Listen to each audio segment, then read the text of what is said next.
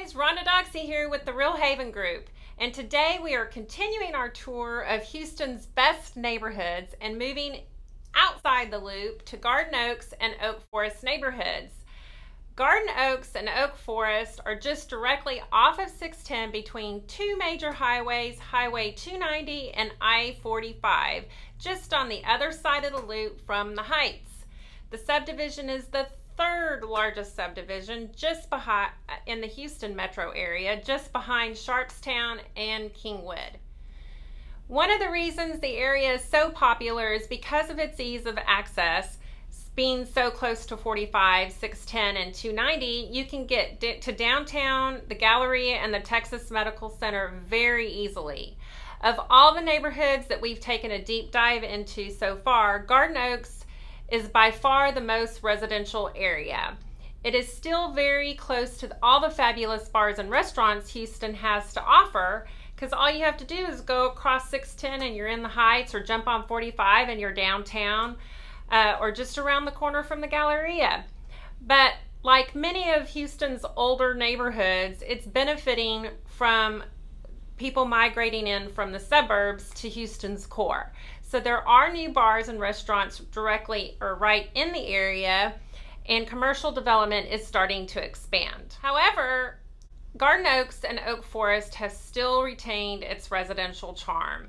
Many of the older homes, which were constructed back in 1946, are still very nice and have been updated to today's standards.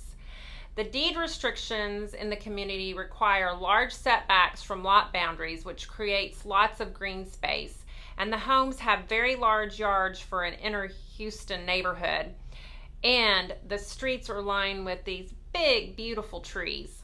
One of the neighborhood's features is the vintage homes. There's a range of styles from bungalows and cottages to plantation style homes, ranch style homes.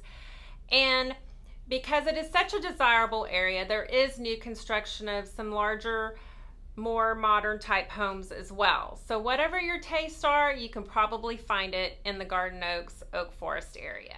The Garden Oaks Oak Forest neighborhood also has great public parks and green space.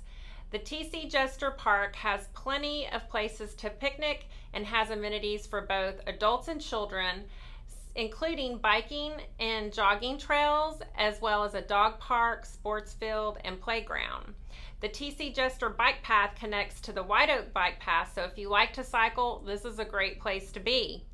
Garden Oaks especially has one of the most active Houston civic clubs and, and offers its residents many amenities. The Civic, the Civic Club has many events throughout the year, has a garden club, and a community garden. So, if you enjoy being involved in your community, Garden Oaks offers plenty of opportunities to do just that. If you like to learn more about buying and selling a home in the Houston area, click on one of the links below and we'll send you a free buyer's or seller's guide. Or if you just want to learn more about Houston neighborhoods, check out some of the other videos on this channel or go to our website at www.realhaven.com. Thanks and have a great day.